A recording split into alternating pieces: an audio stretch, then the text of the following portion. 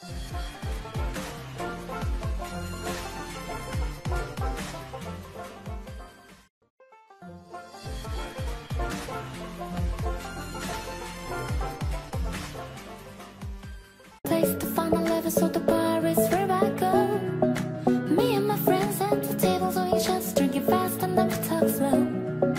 Anthony Rizzo is hitless in his first two at-bats in the leadoff spot Friday night as he tries to snap out of an 0-4-21 slump.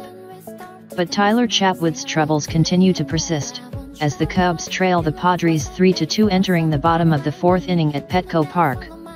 Chatwood, who has allowed seven runs in each of his two previous starts, allowed a walk that preceded a fielder's choice by Eric Hosmer that scored the Padres' first run in the first. Cubs second baseman Javier Baez made a diving stop to prevent Hosmer from collecting a two-run single. But the Cubs wasted a two-run single by Ian Happ in the top of the second. With two out, Chatwood allowed a hit to counterpart Clayton Richard, and Travis Jankowski followed with a two-run home run. Rizzo, meanwhile, is batting first for only the second time his season and the 16th time in his career. Rizzo entered Friday's game batting only .236 despite driving in 59 runs. He was a career 16 for 55, .291, with 6 home runs, 13 RBIs, and a .359 on-base percentage from the leadoff spot. He batted leadoff May 1st, going 1 for 4 with a home run off the Rockies' Jonathan Gray.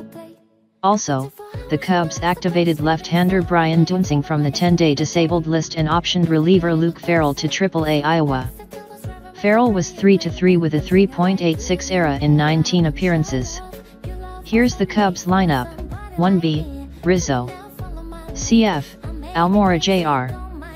3B, Bryant, 2B, Baez, C, Contreras, SS, Russell, RF, Zobrist, LF, Happ, P, Chatwood.